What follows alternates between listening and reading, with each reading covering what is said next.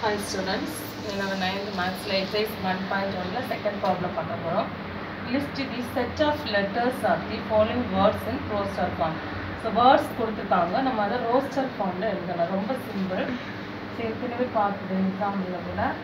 First வந்து ரெண்டு course அப்டிஷன் கொடுத்துருவாங்க. ஃபஸ்ட்டு வந்து ஒன்று ஏன்னு எடுத்துக்கிறோம் ஏ ஈக்குவல் ஸோ ஒவ்வொரு லெட்டர்ஸாக எழுதுவோம். First I comma N comma T comma.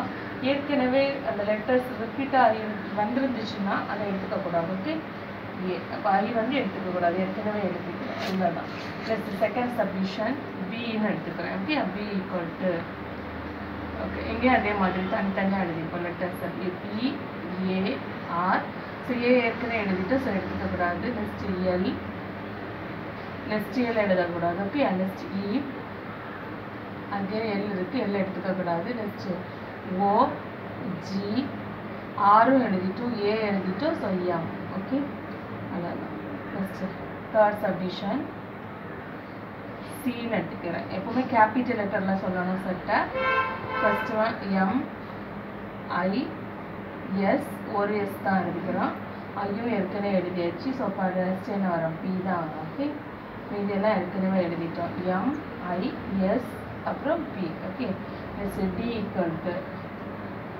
fourth ஒன்று டின்னு எடுத்துக்கிறோம் டி ஈக்குவல் டு ஸோ இங்கேயும் அதே மாதிரி எழுதுவோம் சி இசட் இ சி ஏற்கனவே எழுதியாச்சு H O S L O வராது. Next P A K I A ஏற்கனவே எழுதிட்டோம். ஸோ இவ்வளோதான் ஓகே ஸோ இப்போ வேர்ட்ஸ் கொடுத்துட்டு ரோஸ்டர் ஃபார்ம் கேட்டாங்கன்னா அந்த லெட்டர்ஸை தனித்தனியாக எழுதணும்.